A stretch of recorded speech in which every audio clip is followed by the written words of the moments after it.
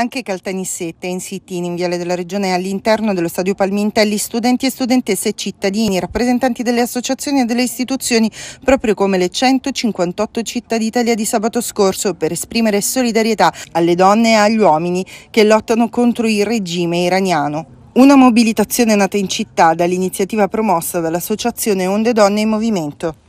Siamo qui perché abbiamo deciso di sostenere la protesta delle donne iraniane, la loro richiesta di maggiore libertà. Eh, a loro si sono uniti anche gli uomini iraniani ed è forse la prima volta che questo avviene. È una protesta forte contro la brutale uccisione di una ragazza di 22 anni, Masha, colpevole di non aver indossato bene il velo. Le ragazze non protestano contro il velo, protestano contro l'obbligo del velo. Siamo qui in solidarietà del tutte le donne di, eh, perché quell'episodio che è successo a Teheran è veramente un episodio gravissimo soltanto perché il velo era messo male la polizia politica iraniana ha ucciso una donna.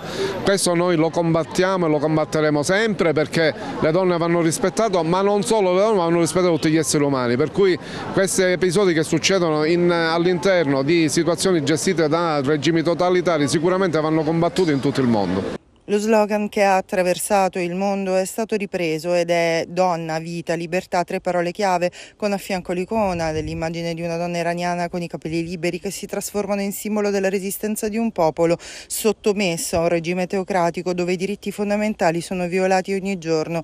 Messaggi di solidarietà, sostegno, fratellanza della città al centro della Sicilia, porta d'Europa.